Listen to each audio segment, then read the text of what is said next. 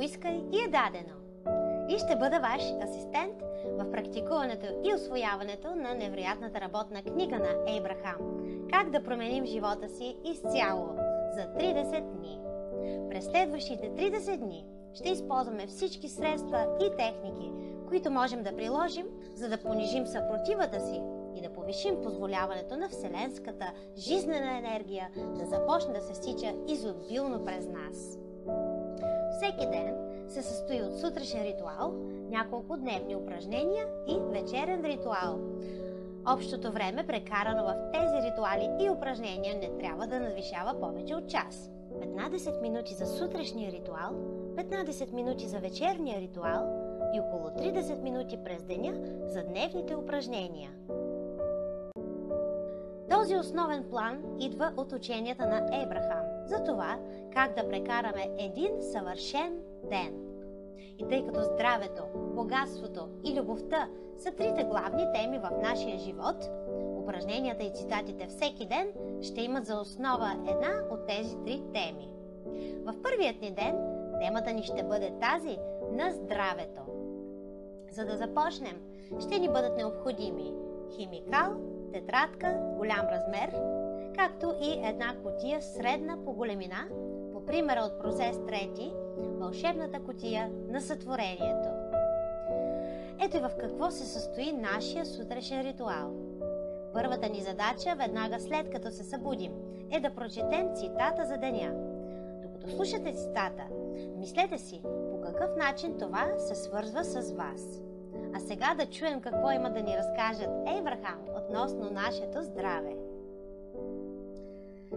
Всеки един от вас, който стои във вашето тяло, продължава да подобрява изживяването на това физическо тяло. Това е еволюция на един вид, която е изключителна. Не трябва да се страхувате за телата си. Телата ви трябва да бъдат почитани. Телата ви трябва да бъдат аплодирани и дори, може би, трябва да ви удивяват. Но никога не бива да се страхувате за тях. Телата ви не са уязвими, не са чупливи. Те са устойчиви, гъвкави са. Имате способността да се пренастройвате към извора отново и отново и отново.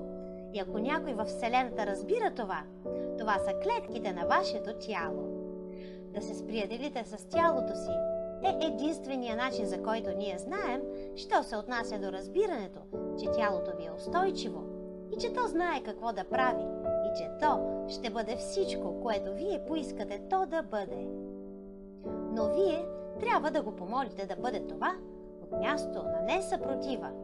Това е най-важната информация, която някога сме изразявали относно вашето физическо тяло и храна. Вие трябва да обичате тялото си и тогава да му давате храната любящо. А когато обичате тялото си и му давате храната любящо, тогава е без значение каква храна му давате.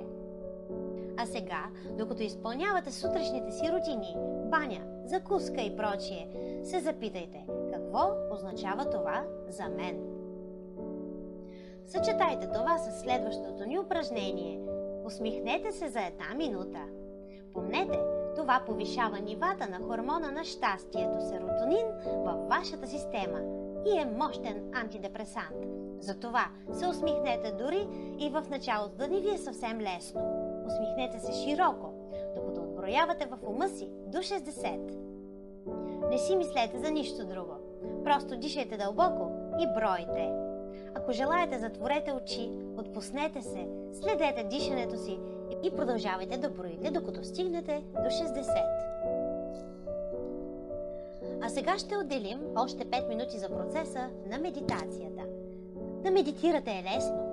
Можете да го направите на стол или в леглото, ако нямате тенденцията да заспивате докато медитирате. Или пък на земята, където на вас ви е удобно и приятно. Важно е единствено да ви е възможно най-удобно и да не бъдете обезпокоявани. Направете тази медитация още преди да сте започнали да приготвяте закуска за семейството си или да изпълнявате домашните си задължения. Ако сте гладни, хапнете 2-3 хапки набързо, но оставете главното хранене за по-късно и не влизайте в разговори с тези около вас. И така, Днешната ни техника е Бидейки съзнателни за вдишването и издишването си, отбройте 60 дъха. Стремете се да вдишвате възможно най-дълбоко. И нека издишванията ви да бъдат малко по-дълги от вдишванията ви. Например, вдишайте колкото се може по-дълбоко, в продължение на 3 секунди, след което плавно и спокойно издишайте в продължение на 5 секунди. Подобно на неравноделните ритми в българския фолклор. А сега, затворете очи, не мислете за нищо, следете единствено дишането си. Дишай. Издишай.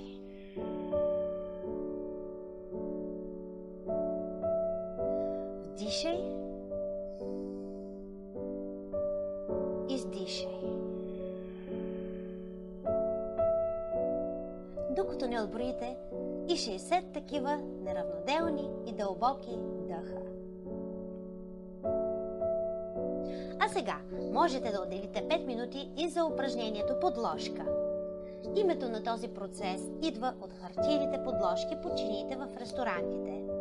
Такава една подложка послужила на Естер и Джери, когато процесът им бил даден за първи път от Ейбрахам, в отговор на прекомерната претовареност на Естер и нестихващите й отговорности в работата й в Abraham Hicks Publications.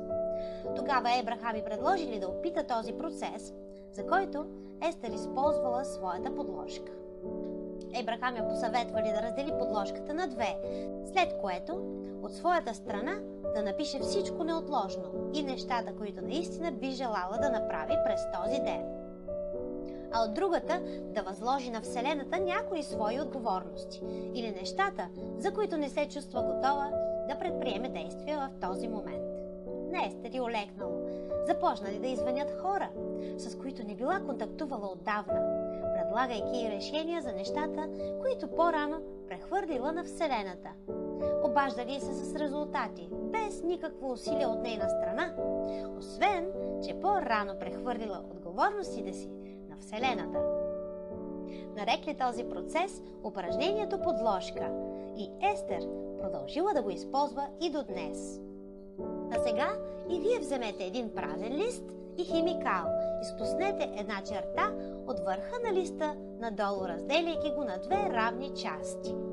И по примера пред вас, от едната страна на страницата напишете Какво възнамерявам да правя днес? А от другата оставям на Вселената да се погрижи за. От своята страна напишете само неща, отнасящи се до днешния ден. Нещата, които са неотложни или спешни. Или пък нещата, които наистина можете да направите днес и които биха ви доставили истинско удоволствие. От другата страна, възложете някои от отговорностите си на Вселената. Помолете я тя да се погрижи за тях вместо вас. Можете да пишете и неща, неопределени във времето. Например, нова кола, бебе, партньор, работа, почивка и прочие. И не е необходимо всеки ден да повтаряте едно и също желание на Вселената. Тя го разбира и отведнъж.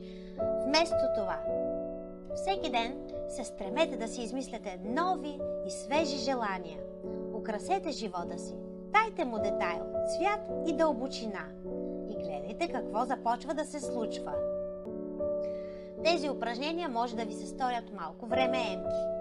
Но точно напротив, с помощта на тези упражнения и техники ще си освободите повече място и време за практикуването на повече от любимите ви дейности и занимания. Възлагайки на Вселенския менеджер тежащите ви отговорности, ще си дадете допълнително време, което сега ще можете да прекарате с любимите си хора, правейки това, което на вас ви харесва. И скоро не само, че ще контролирате времето си, но и резултатите ви ще бъдат такива, каквито вие искате да бъдат.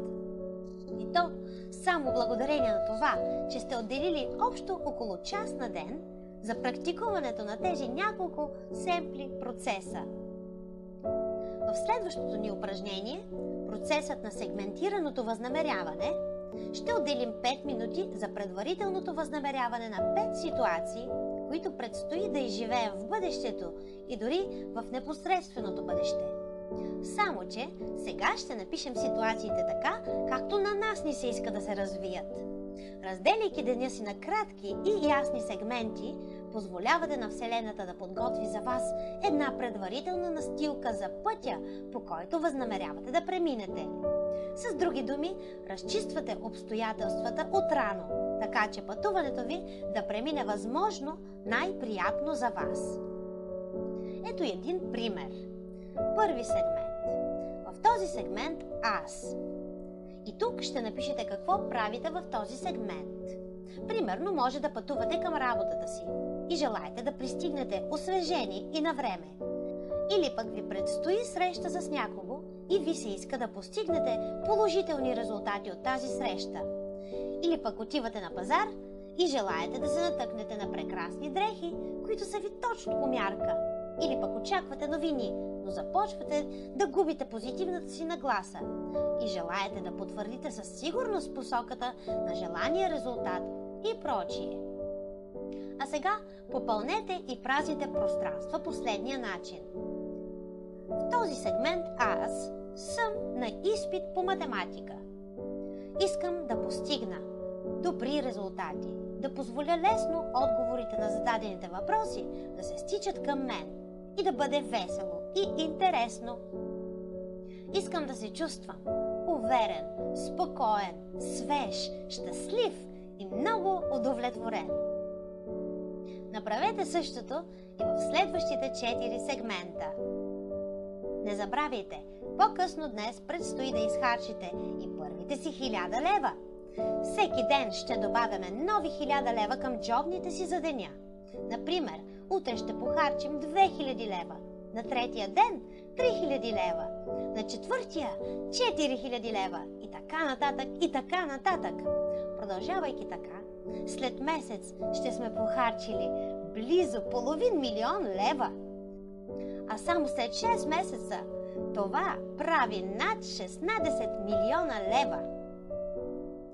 За дневните и вечерните ни упражнения преминете към част 2 от ден първи здраве и как да променим живота си изцяло.